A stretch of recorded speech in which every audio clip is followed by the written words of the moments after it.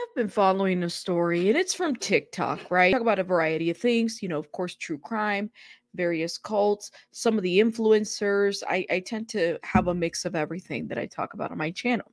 So I've been following a story out of TikTok. If you don't do TikTok, then this is not something you're going to know about. But there is an influencer on TikTok, and his name is Andrew Benitez. Well over 2 million followers, okay? Pretty interesting guy. He has he does a lot of parodies, so he goes by Andrew Benitez, but his character name is Ney Ney. Okay.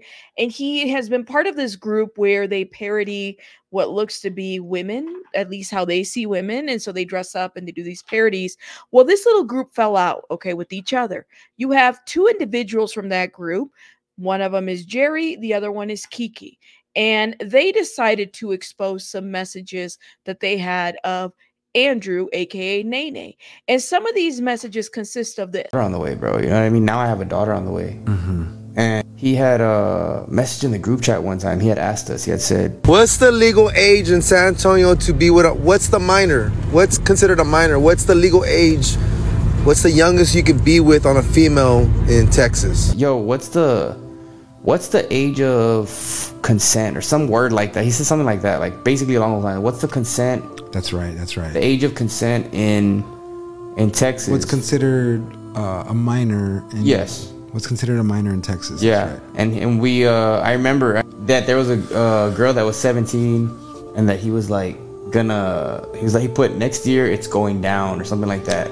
That's right. That's right. So what what happened was uh, he was curious. What was the age of, of a minor here in Texas that you can, mm.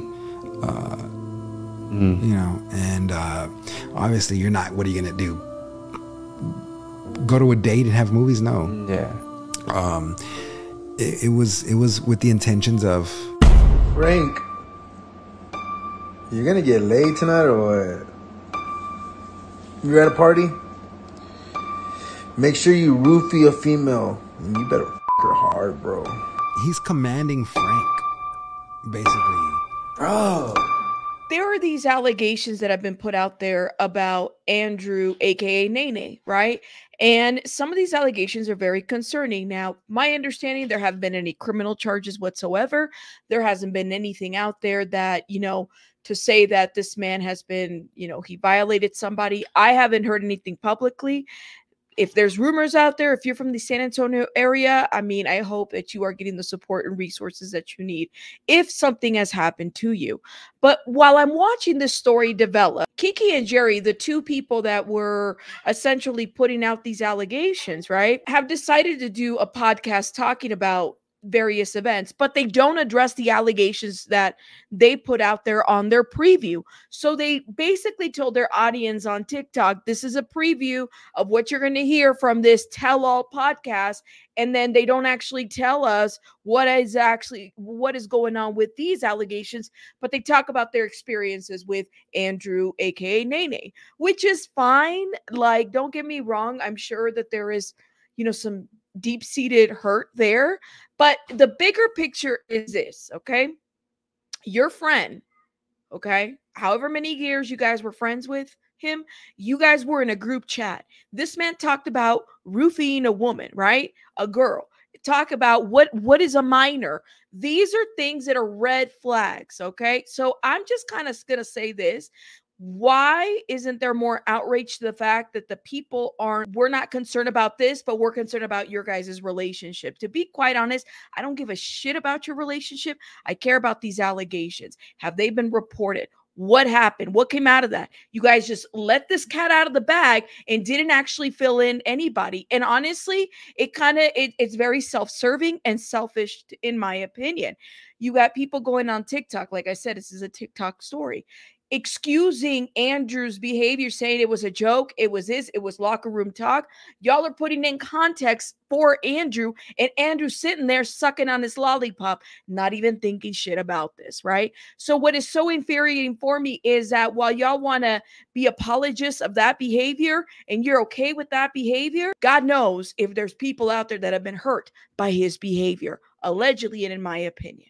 Now, it's my understanding that there might be some legal stuff going on and, you know, legally he can't talk about it. Okay. Then why are you guys having a panel with 2.5 thousand people in the chat while you guys are talking about the events and yet dancing around the issue. If he legally can't talk about the issue, then you don't fucking talk about the issue and you don't have panels and you don't have anything, right? But let's get it all the way together because if that was my daughter, okay, if that was your child, you guys would be singing a different tune, right?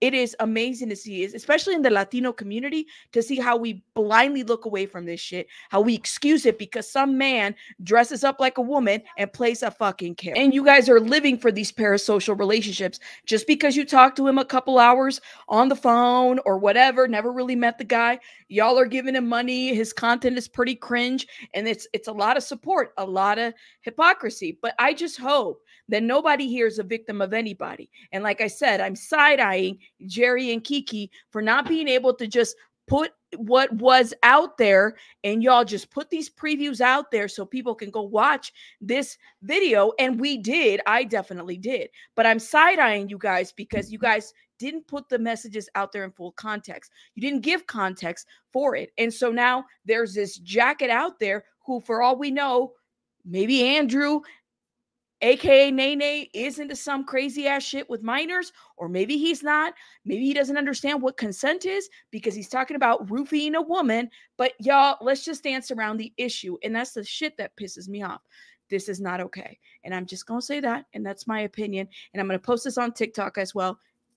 Yeah. I'll see you guys on the next one. Rabbits out. Make sure you check out my YouTube channel because that's where I do most of my commentary. Bye, guys.